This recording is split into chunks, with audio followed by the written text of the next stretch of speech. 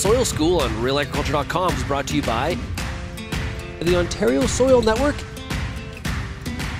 and the Mosaic Company.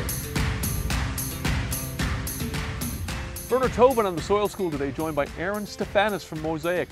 Aaron, how's it going? I am fantastic. It's a beautiful fall day. You can't ask for more. How about yourself? I'm doing well. I'm doing well. Hey, we are standing um, in an alfalfa field, and you've done some research here this summer, and I want to talk about that in a minute.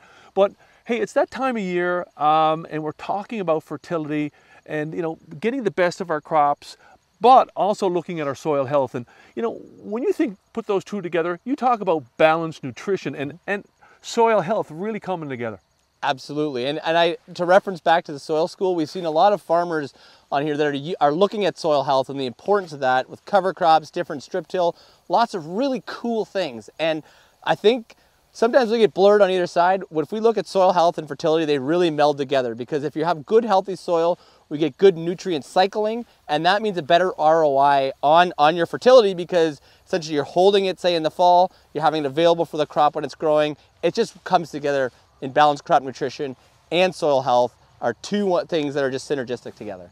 We also talk about base fertility when we're talking about uh, you know crops and inputs and uh, I want to take a look at this field that you're standing in here and you did a lot of work on alfalfa research this summer and you started with a base fertility on this field but then you added potassium and it really shows what you can do when you make the move and, and do some fertility work. Absolutely. So we're in central eastern Ontario. Uh, this specific area throughout the middle of the summer, that June, July, was very dry, heavy drought here.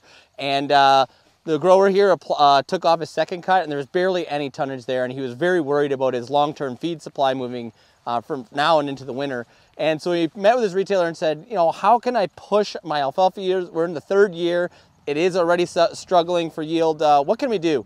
And so uh, he called me and we worked together a plan to kind of come up with this trial on, on balanced crop nutrition. So we have uh, two products in here, Aspire and K-Mag, um, and we have an untreated check. We have 100 pounds of each, so 100 pounds of each product, total 200 pounds, and then 150 of each product to a total of 300 pounds to see if rate changed anything. And really we're looking to drive yield, drive, drive crude protein, um, try to get more potassium into the plant and, and see if we get a better ROI for this grower and, uh, and that's what we're kind of standing on here. I'm right in the dividing line here, uh, but we can talk about more of that in a second. Yeah, I was going to ask you, so you've got, talk about the different treatments here. You've got 200 pounds and 300 pounds. You really do see a biomass, and obviously uh, that, that's production of, in the tank. Absolutely, absolutely. If you look at, especially on dairy, you know, if we can drive more protein, we, we grow alfalfa for protein, if we can drive more protein out of this plant and into the bunk and into the feeder, that, that's just at the end of the day more milk, like you said, in the tank.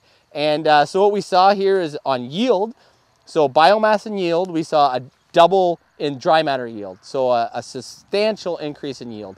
The other really cool thing is the protein level. So we know that potassium helps keep the leaves on the on the alfalfa plant, and uh, and that is essentially what drives protein. The more leaf we can keep on there, the more protein we can drive out of our feed, the more essentially nutrition for our cattle and uh, for either growth in beef or milk in the tank for dairy. Uh, it's just a win all around. So we, it was great to see this, uh, this increase in yield by essentially using balanced crop nutrition. So once again, we're looking at potassium, boron, magnesium, sulfur, um, just a whole gamut of, of uh, balanced crop nutrition versus just potassium.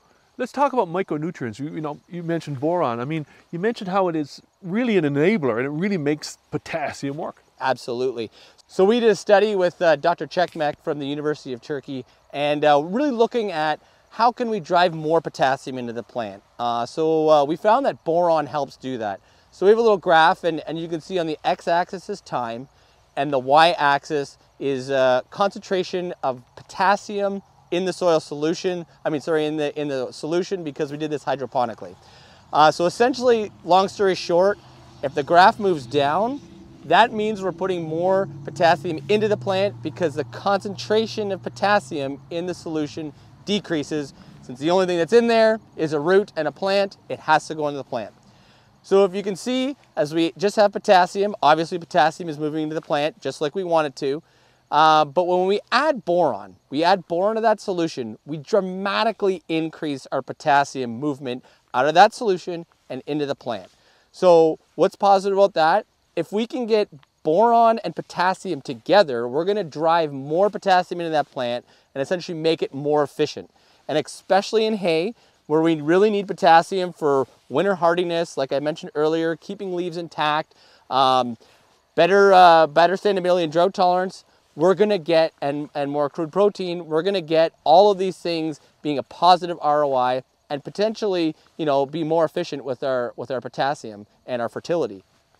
So Aaron, it's late September, um, and I want to talk about, you know, what growers can do now from a soil health perspective and a balanced fertility perspective. Going to be an open fall by the looks of it. Absolutely. Well, first off, number one, we've had weed off for a while. Soil test, soil test, soil test. I hate to copy Johnson on that, but we need to get our soil test down. That is our report card on our base of balanced crop nutrition, and we can make good decisions from then. So if you haven't, do it already.